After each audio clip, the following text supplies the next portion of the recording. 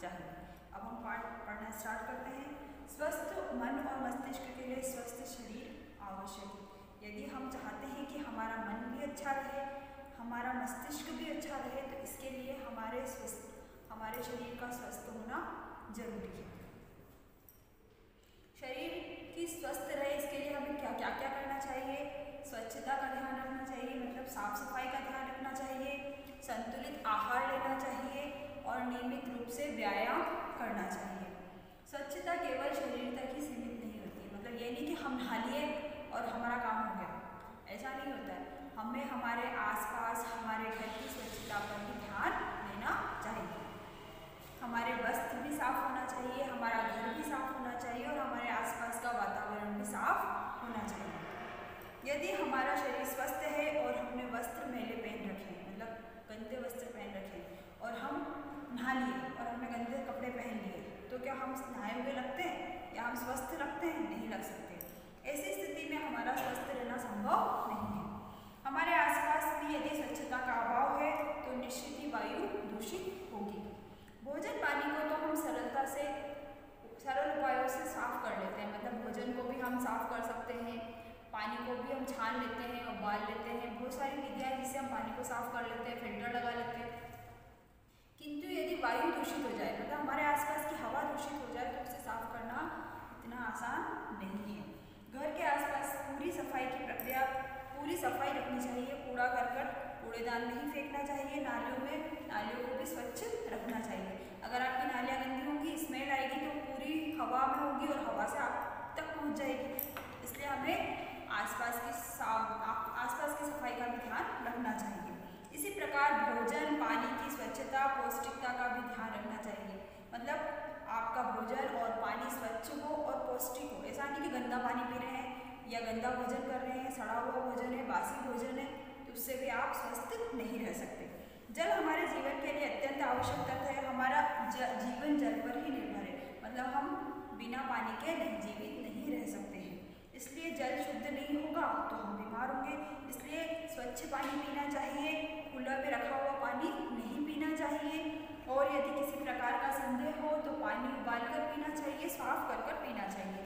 भोजन भोजन सदैव गर्म और ताज़ा खाना चाहिए। चार घंटे पहले बना हुआ भोजन नहीं करना चाहिए।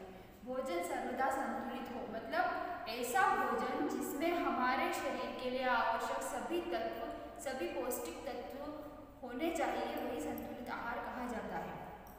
जिसमें अनाज फल दूध सब्ज़ियाँ सूखे मेवे आदि सात्विक भोजन होना चाहिए।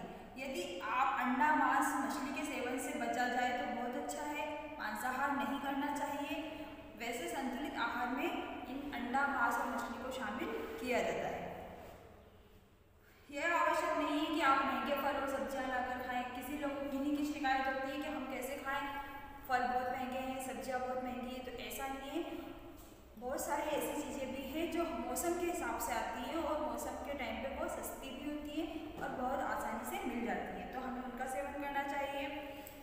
स्वच्छता और आहार के नियमों के पश्चात हमें शारीरिक व्यायाम पर भी ध्यान देना चाहिए। मतलब हमें योग है, कसरत कसरत करनी चाहिए, योग करना चाहिए। इससे हमारा शरीर स्वस्थ रहता है।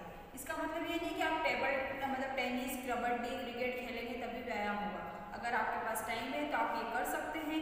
अगर आपके पास टाइम नहीं है तो आप दौड़ने जाना मतलब भ्रमण करना घूमना, टहलना और दौड़ना या फिर खेलों में भाग ले सकते हैं, जिनसे भी पर्याप्त व्यायाम हो जाता है। यदि यह न हो सके तो सूर्योदय से पूर्व किसी बाग बगीचे में घूमने जाएँ। वहाँ की हरियाली और खुले वातावरण में आपका मन प्रसन्न चित्त होगा। बाग बगीचों में हरे वृक्ष खुले खुले, खिले हुए फूल, उन पर मंडराते हुए पक्षी, तितलियाँ आदि देखकर आपका मन शांत होगा और प्रसन्न होगा। प्रातः प्रार्थना का सुखद अनुभव जीवन को शक्ति प्रदान करता है। मतलब सुबह उठकर घूमना चाहिए, प्रार्थना करनी चाहिए। सूर्योदय का दृश्य जिसने देखा है, उसके आनंद का अनुभव वही कर सकता है। मतलब जो सूर्योदय के टाइम है उठता है वही उस आनंद का अनुभव कर सकता है बाज़ार में बिकने बिकने वाले कटे फटे फल और खुली मिठाइयों का सेवन नहीं करना चाहिए मच्छर पक्षी मच्छर मक्खी हमारे स्वास्थ्य बहुत बड़ा शत्रु है और इनका जन्म गंदगी में होता है और गंदगी फैलने से इनकी संख्या बहुत ज़्यादा बढ़ जाती है। आ, मक्खी एक माध्यम है जो रोगाणुओं को हमारे पास पहुंचाती है अतः और हमें बीमार कर देती है। तो मक्खी मच्छरों से खसरा ज्वर हेजा पेशिस मलेरिया आदि प्राणघातक रोग होते हैं अतः हमें इन्हें पनपने नहीं देना चाहिए आसपास गंदगी नहीं रखना चाहिए और इनसे बचने का प्रयास करना चाहिए।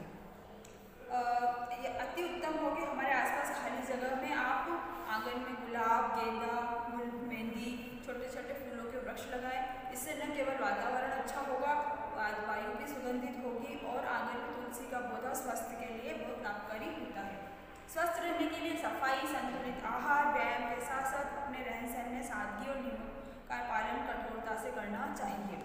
खाने, पीने, सोने और जागने का समय निर्धारित होना चाहिए।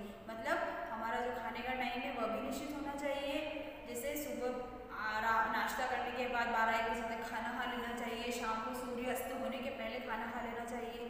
सुबह जल्दी जागना चाहिए, शाम, रात में जल्दी सो जाना चाहिए। करने चाहिए। इससे स्वास्थ्य तो ठीक रहता ही है, समय का सदुपयोग भी होता है। यदि आप जल्दी उठते हो तो आपको काम करने के लिए जल्दी ज़्यादा टाइम मिल जाता है। और अगर तन मन स्वस्थ होगा तो विचार भी अच्छे उत्पन्न होंगे। अच्छे विचारों से अच्छे चरित्र का निर्माण होता है। शरीर स्वस्थ रहने से चित्त प्रसन्न रहता है, उमंग और उल्लास से भरा रहता है। हर काम करने में मन लगता है और कोई भी काम हमें कठिन नहीं लगता। अच्छा स्वास्थ्य जीवन की मूल निधि है मतलब आप स्वस्थ हैं तो आपको हर काम अच्छा लगेगा आप स्वस्थ हैं तो आपको सब चीज़ें अच्छी लगेंगी।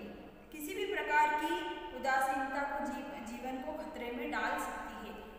मतलब आपको उदास नहीं रहना चाहिए प्रसन्न रहना चाहिए। प्रसन्न रहने के लिए आपको स्वस्थ रहना ज़रूरी है आपको। अगर आप बीमार हैं तो आप खुश रह सकते हैं नहीं रह सकते। इसलिए हमें हमारे स्वास्थ्य का ध्यान रखना चाहिए और स्वास्थ्य अच्छे स्वास्थ्य के लिए आसपास घरों के आसपास घर में और अपने शरीर की स्वच्छता पर ध्यान देना चाहिए। इस पार्ट को अच्छे से पढ़ना है, इसके शब्द शब्दार्थ लिखने हैं और इसका उपयोग करना है।